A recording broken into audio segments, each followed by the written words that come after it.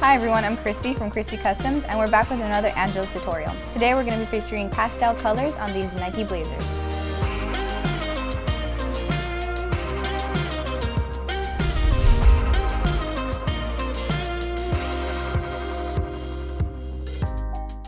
Spring's here, and with that, florals. Today we're going to be incorporating pastel roses onto this shoe. So the first step that I'm going to be doing is outlining. So now that we have the stencil done, we're gonna go ahead and start painting. So in order to paint, because this is canvas, we're gonna go ahead and mix half of 2-Soft with half the proportions for the color. I'm gonna be mainly working first on the branches, so I'm gonna be incorporating different colors of browns. I'm gonna first start off with rich brown, and I'm gonna mix that with 2-Soft.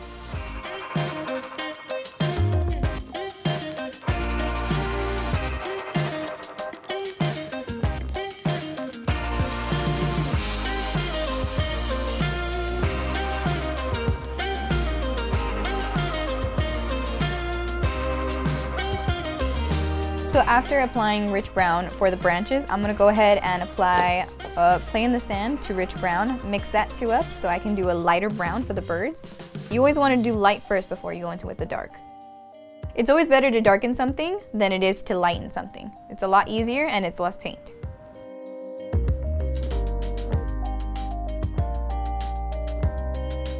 So next we're gonna go on to move on to the pastels.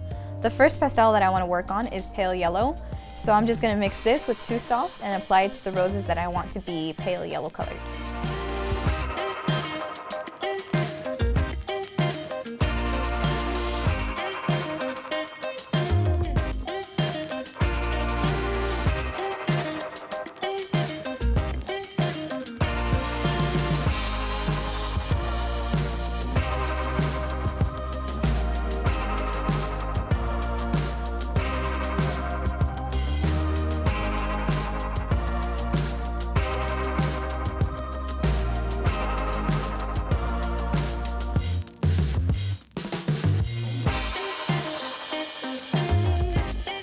Now that I've laid on the basic colors for the flowers and the branches and the birds, I'm gonna go on ahead and go to the next step.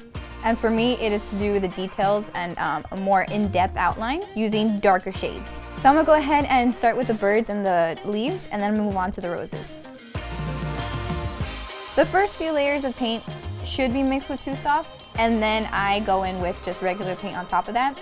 For other artists, you can mix and match. You can do 2-Soft for everything, or you can just do the paint for everything. But in my personal opinion, 2-Soft first for the basic colors, and then go in with details with solid paint.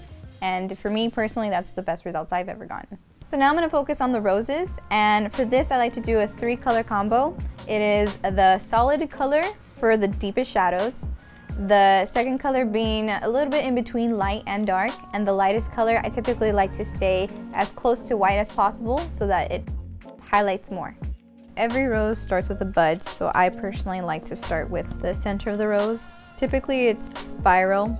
You just have to do kind of like a very short U shape and then go off on that. But don't forget to add the details like this one's overlapping this one, therefore underneath that has to be a darker color, that sort of thing.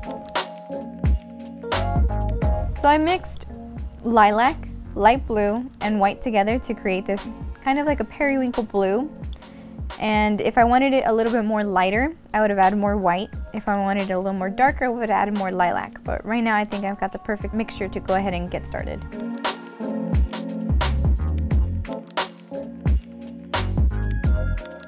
So the next step I'll be doing will be the Nike swoosh. I think I'm gonna go with a powder blue sky. So I'm pouring out a little bit of 2-Soft, mixing that with white, and then adding a little bit of light blue so I can get that very pretty sky blue color.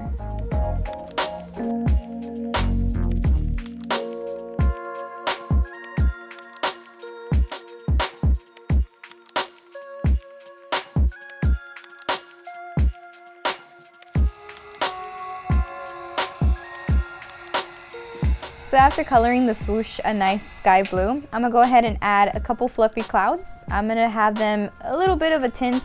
Um, I'm gonna use Georgia Peach, Vanilla, White to kind of give it a sunset spring vibe.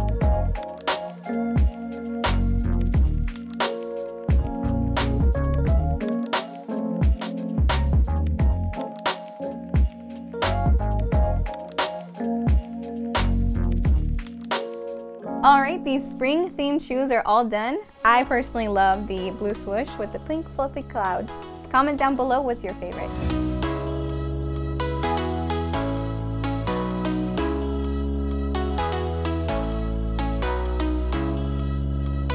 I'm Christy. You can find me at Christy Customs on Instagram. Like this video, comment down below, and make sure to share it with all your friends, and I will see you on the next one.